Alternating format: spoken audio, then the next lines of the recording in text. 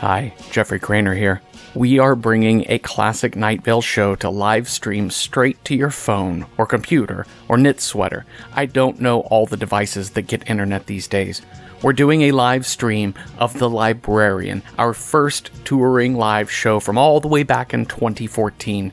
Come see Cecil Baldwin, Hal Lublin, Mara Wilson, Dylan Marron, Symphony Sanders, Meg Bashwiner, and Disparition perform this story about the escaped librarian terrorizing the town. The Librarian streams live this Thursday, August 20th at 8 p.m. Eastern. Tickets are pay what you can starting at 5 bucks, and even if you can't see it that night, the show will remain available to all ticket buyers to watch later. Tickets are available at welcometonightvale.com and click on live shows. Also, we have Night Vale face masks in our store. They're going fast, so get yours now. Get your Night Vale mask so that you can keep others healthy and safe, and also so you can show your support for your second favorite podcast. Your favorite podcast, of course, is the one you record with your friends, wherein you all break down and carefully analyze every single episode of Wheel of Fortune. There are Night Vale masks and so much more cool Night Vale stuff available at welcometonightvale.com and click on store. And hey, stay safe. Nothing lasts forever is a phrase with two meanings. And they're both true. Welcome to Night Vale.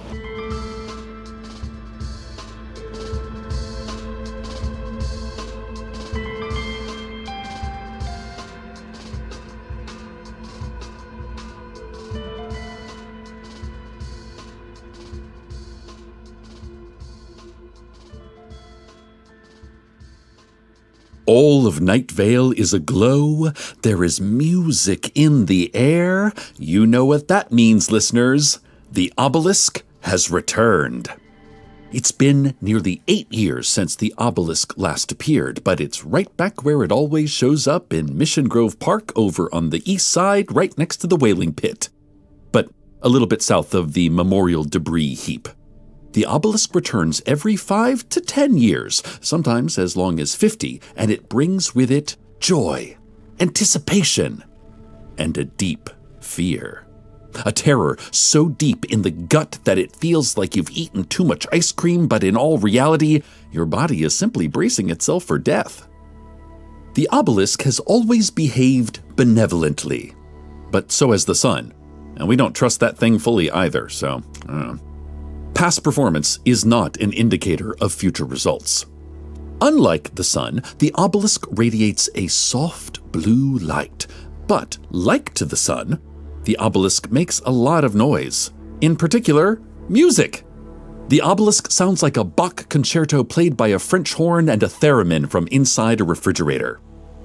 Everyone in town is gathering at Mission Grove Park to see the obelisk in person, to pay homage to this rare visit and to confront their fears head on. Hopefully, everything works out fine because there's some cool events I want to get to this weekend, and it would be terrible to have to cancel them over a rogue obelisk. Let's take a look at the community calendar, shall we? This Friday night is opening night of Andrew Lloyd Webber's Tony winning musical Sunset Boulevard at the Night Vale Community Theater. I'm very excited to finally see the show. It's supposed to be a really lavish production, too. And it's based on one of my all time favorite Billy Wilder films about an aging silent movie star who finds an amulet that lets her travel in time, but whenever she moves through time, she enters someone else's body and can't leave until she saves her life. This staging of Sunset Boulevard is directed and produced by. Oh my god, Susan Willman? Really?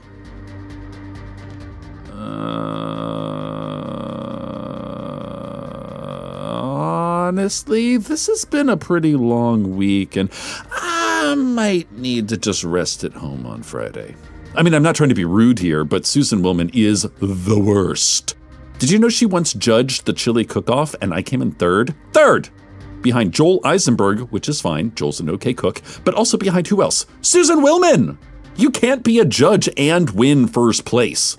I'm also pretty sure Susan used a pre-packaged spice mix in that chili. I don't have that verified through a secondary source, but I can confirm it was oversalted. Again. I'm not saying. I'm just saying. Anyway, go see Sunset Boulevard on Friday if you want to watch uninspired actors and muddled blocking.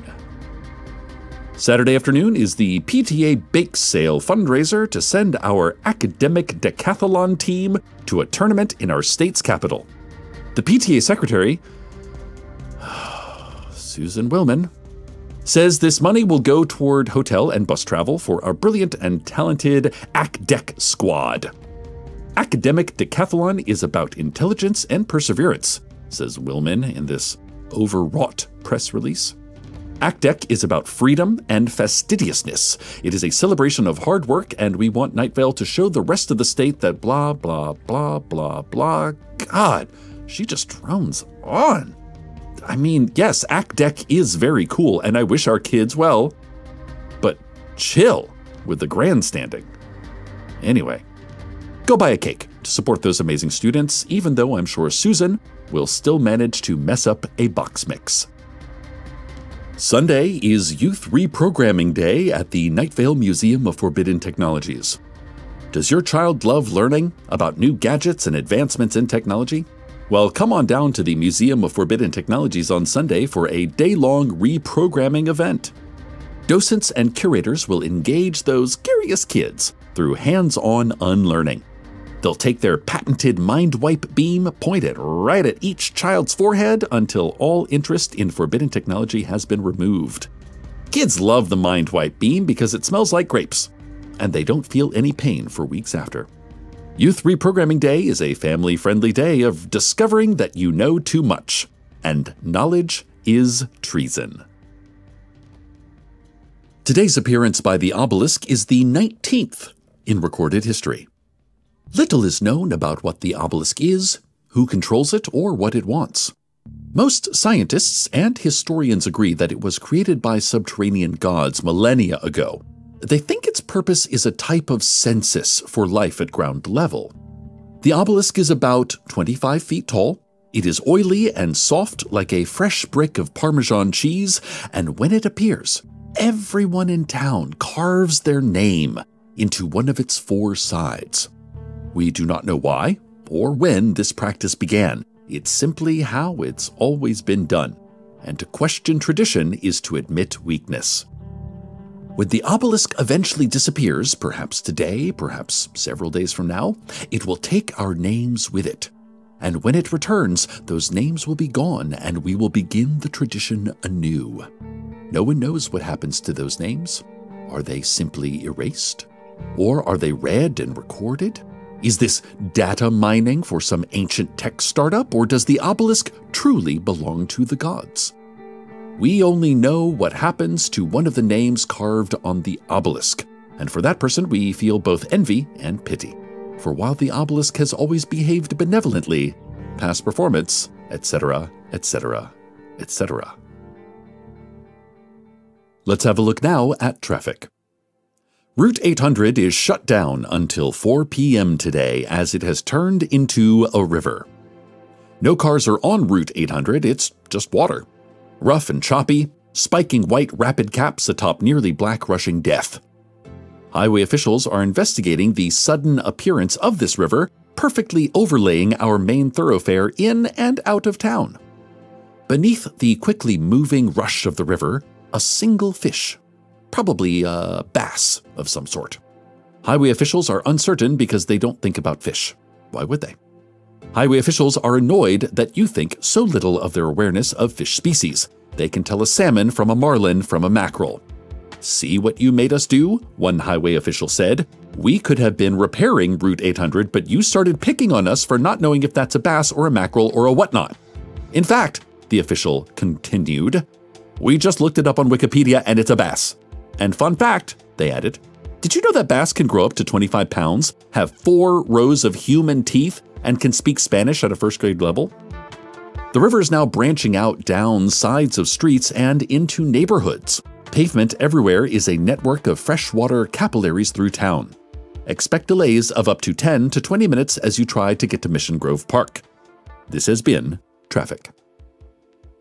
The whole town feels like a carnival now, with the flashing lights of the obelisk and its crescendo of lively music filling the cool twilight air. We dance, we sing, we revel in togetherness, and share our fears of what will happen next. What will the question be? And more importantly, what will be its answer? When every name has been placed upon the obelisk, then the blue glow of the towering monolith will die away. The entire structure will turn black, all except one name. One name will remain lit on the obelisk, and that person shall be sent forth to ask their question. They may ask any question they choose, and the obelisk will tell them, and only them, the answer. No one else can hear this communication. If the receiver wishes to share what they now know, they are allowed to do so. Many years back, this ritual was more organized. Early Nightvale townships planned a democratic approach to this opportunity. A committee of the obelisk was formed to decide on the single most important question to ask. This approach came about in response to the super blunder of 1932 when a six year old boy named Bartholomew Thomason was chosen to deliver the question. He asked the obelisk if he was, quote, gonna have corn for dinner. The obelisk apparently said no, because little Bart started crying and the obelisk quickly disappeared, not to return for almost 10 years. By that time, the committee of the obelisk was established and they chose the question How do you cure cancer? Ah, this is a good and noble question. But the citizen chosen by the obelisk was a farmer named Barry McKinney, who tried his best to take careful notes, but a lot of the detailed medical jargon was just too complex for him. The committee tried this question again six years later, but the obelisk refused to respond to any question it had already answered. So Sidney Laynard of Old Town Nightvale, not having a backup question from the committee, asked if his wife Jessica was cheating on him with Gerald Framingham, and the obelisk said no, but it only said that because Gerald's actual last name was Framington, so Sidney just messed up. Over the decades, the committee of the obelisk asked, Is God real? And the obelisk said yes, but nothing more. After this, they tried to ask questions that would elicit more detailed responses. Um, one year, they asked who planned the assassination of JFK and were disappointed to learn that it was a CIA Fidel Castro Frank Sinatra triumvirate that conspired to murder our 35th president. This was the most boring answer, but at least it verified what everyone already knew. By the 1990s, though, the Committee of the Obelisk had kind of fallen out of fashion after years of corporate funding and corruption. See, this controversy exploded in 1997 when the question put forth by the committee, which at the time was headed by the CFO of PepsiCo, was What's the best tasting carbonated soft drink on the market today? The obelisk's answer, to the chairman's great disappointment, was Surge. Today, whoever is called on by the obelisk is given free rein to ask whatever they choose. However, many news outlets regularly publish lists of recommended questions. But there is always the risk that someone will ask something frivolous like, What's Jason Mraz up to these days? Or, Where is the body of my missing father?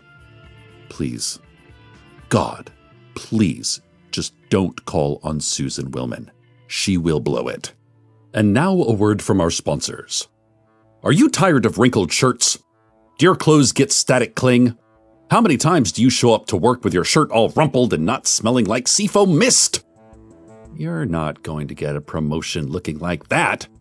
And while no one deserves anything, you certainly should appear to deserve that promotion. You need crisp, clean, non ionized clothing that smells like seafoam mist. Don't you want to smell like seafoam mist? Try Tide Pods. With our special formula of citrus extract, kelp, and milk fat, Tide Pods can be the all natural solution to all of your laundry problems. You deserve Tide Pods because you deserve that promotion over Michaela, who's only like 22 years old. What has she ever done to deserve a promotion? What's Michaela's deal even? Tide Pods. Remember when we seemed like a big problem? Ooh, listeners. The obelisk has gone dark. The music has ceased.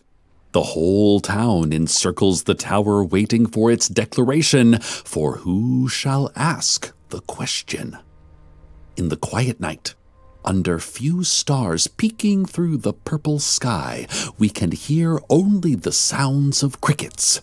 The obelisk, so black as to appear cut out from reality, suddenly shines a small blue line. It is a name. It is on the south face, and it is.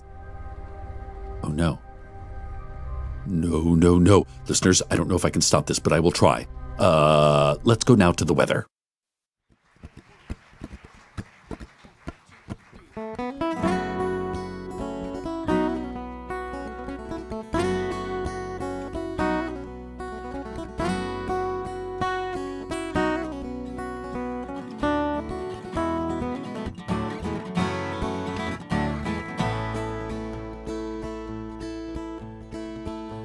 But I don't like your favorite books. Your heart is good, but not your politics. You love the morning light, and I love playing late at night. No wonder why we aren't a perfect fit. We don't see eye to eye on these crucial things in life. When you like dogs, and me, I'm indisposed. And you're beautiful and so full of life, but oh, your music taste is trouble down the road. Your pros and cons, and I weighed my options well. Though I may have done the numbers wrong, well, it's too late now to tell. Oh, I looked before I fell.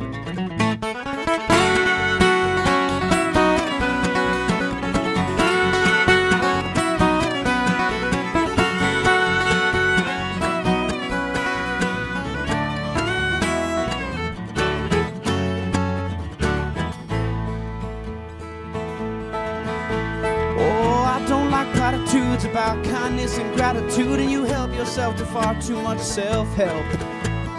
Me, I'm on a steady dose of small mistakes and big remorse. I never take it easy on myself. We don't see eye to eye on these crucial things in life. When you like dogs and me, I'm indisposed. And you're beautiful and so full of life, but oh, your movie tastes trouble down the road. Up your pros and cons, and I weighed my options well. Though I may have done the numbers wrong, well, it's too late now to tell. Oh, I looked before I fell.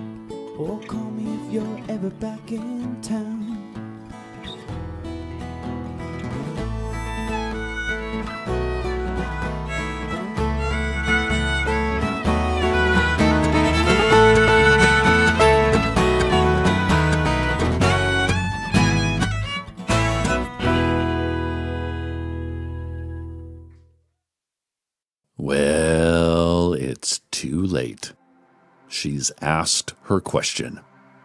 I'm not sure how I could have stopped this disaster even if I made it over there before she could ask it. Okay, as you know by now, the obelisk lit up with Susan Willman's name. And she grinned smugly and did that fake, like, who, me? What? Oh my God gesture, and then walked on up to the obelisk. The crowd was calling out questions to her like a game show audience trying to help a contestant no single phrase discernible above the others, and Susan just looked around, her big goofy eyes scanning the people around her as if she would actually lower herself to listen to their questions. she thinks she's so high and mighty with her PTA officer status. and her hit Broadway musical production. No, no, no, Susan's above us all, just as important as she can be. She waved her arms like wings for quiet, and the audience obeyed. She's so self important, so attention seeking. And then she asked her question. The one question we as a town get only every decade or so. And Susan said, Hey, so what's your name? What's your name? Gah, what a waste. Did she forget we only get one question? The, the crowd began to boo, or at least I did. I started booing, and I am part of the crowd. The obelisk began to speak only into Susan's mind, and Susan listened closely. She giggled at first, like a little girl hearing a silly joke from a grandfather, and then her tear filled laughs turned into tear filled breaths, which eventually became tear filled sobs. After about three minutes, the obelisk vanished and Susan stood alone on the small hill between the whaling pit and the memorial debris heap, and she told us what she heard. Or, well, she told us some of what she heard. Susan said, in an unusually booming, authoritative voice Whosoever speaks aloud the name of the obelisk shall become the obelisk. Whosoever becomes the obelisk shall live forever. Whosoever lives forever shall know all things. Whosoever knows all things shall be damned. And whosoever hears the name of the obelisk spoken aloud shall perish. The crowd parted for Susan as she left the park. They mumbled their disappointment in both the question and its answer. Some spoke with pity, some with disdain, while some thought it was all pretty cool and new. Much better than last time when Dave asked who would win the 2013 NBA championships, said one person. Dave won a lot of money on that answer, though, responded another. He has a yacht now over at the harbor and waterfront recreation area. But most everyone whispered their fear for Susan's power itself. I mean, Susan received a gift today, a, a cursed, cursed gift. You know what? I think I might go see that Sunset Boulevard after all. And I love it. I don't get to tell Susan very often what a visionary theatrical director she is, but I I I might even put some stacks of cash down on her cakes Saturday too. Really support that academic decathlon team. The spirit of American ingenuity and perseverance and, and all that. Good question, Susan. I'd like to never learn the answer, but good question nonetheless.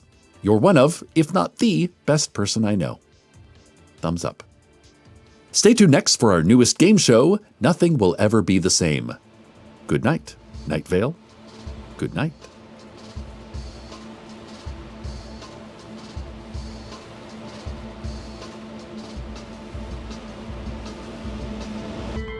Welcome to Night Vale is a production of Night Vale Presents. It is written by Joseph Fink and Jeffrey Cranor and produced by Disparition. The voice of Night Vale is Cecil Baldwin.